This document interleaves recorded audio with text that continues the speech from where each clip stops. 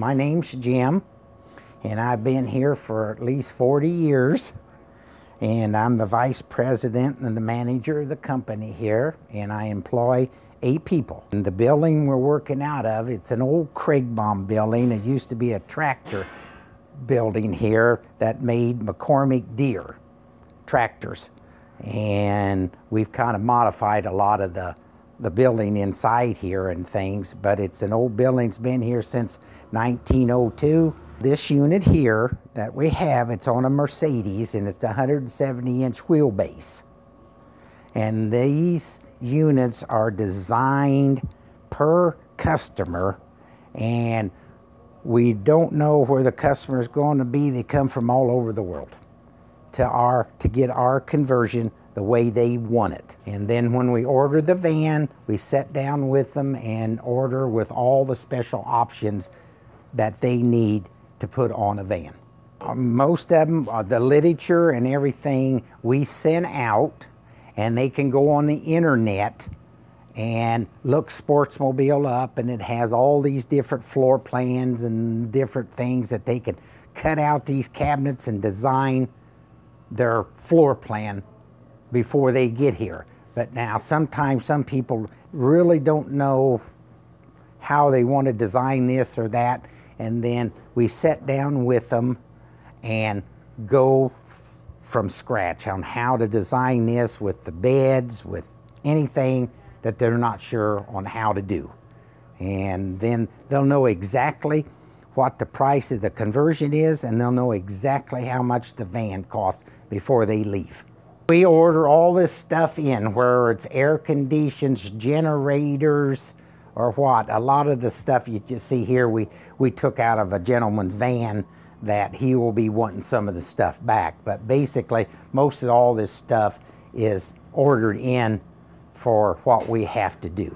And this is ordered in months ahead? Weeks oh, yes, months ahead. So we have all of it in stock. So while, when we get ready to bring a van in, we have all the stuff right here for it. Right now we're in about November and it takes about five to six months to get the Sprinter because they've come so popular and everybody likes the four-wheel drive that Sprinter has from the factory. So usually when we tell people maybe six to seven months down the road, we put them on the calendar and it usually takes that long for the unit to come in then we'll bring their unit in and start doing their conversion. And a lot of our parts and stuff that you're seeing through here is for all of our stuff that we have to build where it's we never know what it is. We have our, our microwaves, our air conditioned parts, our TVs. We just have different places to put all this type of stuff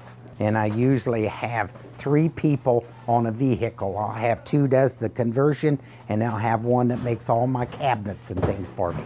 And then we have, like I say, two units right now that we're working on, and the one that you've seen up front was uh, one already done, and we're just waiting for the customer come to pick it up. So this big Ford back here, mm-hmm. this is somebody that this isn't a new van. He no. the van. And brought it to us, and, and uh, he had it shipped here to us, and then we're doing the conversion. It's the older Econoline, which are going to be a thing in the past. Everything now is pretty well the new Ford Transit. But this is uh, a big four-wheel drive, the Quigley and things, put the four-wheel drive under, and we're mm-hmm. going to put big bumpers on front and back. We're going to put a big rack on the top it's just going to be a big monster vehicle is basically what it's going to be. And it's one of these big V10s. It's a, kind of what I call it's going to suck some gas. but he's going to be able to go any place he wants to. And some of the parts you're seeing here, some of it that's going in, this is a smaller refrigerator and a lot of the hot water heater and, and some air conditioned parts that you're seeing laying on the table here that's going to be put in the unit because a lot of the, the cabinets have to be made in, in uh, certain stages. You just can't do everything at once. You gotta, we kind of get the top on first, and then we just kind of go on stages and start making our cabinets to fit. Through here, we have a lot of some of our parts, hinges, and oh, we just have so many different stuff that we've got to, to have. So everything's so custom. Oh yes, everything is custom made, and what you're seeing here is like a, is a lot of our patterns that I have hanging on the walls that we use to uh, make our cabinets or whatever we have to. This van here is like I say is, is the big four-wheel drive and then we're putting like an RB50 conversion. It's like the older type Volkswagen we used to do years and years ago. And uh, we're just now putting a lot of the cabinets in and uh, the seats and things that we're doing, different flooring, the TV, and uh, so basically it'll have the refrigerator and the microwave and the little porta potty will slide underneath here. And then we've got a lot of our wiring and the air condition we put underneath the, the seat there. All our door panels and things that we put on the outside with the day and the night shades that we put on. Little, little cubby holes in the doors for them. The four-wheel drive was done by Quigley out of Manchester, Pennsylvania. We send it to them and then they sit, bring it back to us on a truck.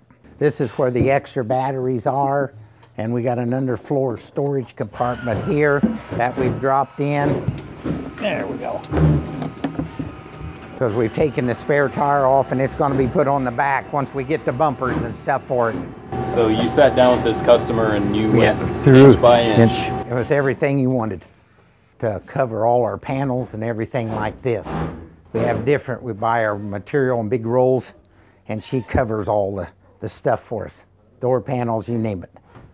This is a, a Sprinter from Mercedes. It has the low roof on it and we're putting a expandable top on and which we're going to be doing the full conversion.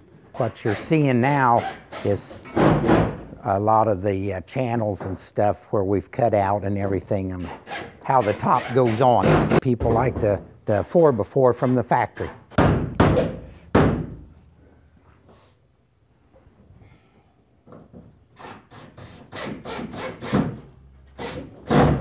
it's pretty much you just Has a template up there. We know right where to cut. Cut the square out. Then, then we take the metal and put it outside and the people come and get it. Oh really? Can't keep it. Yeah, they like to use it in the back of their pickup trucks for another bed or something. And this is just different color flooring too that you're seeing here.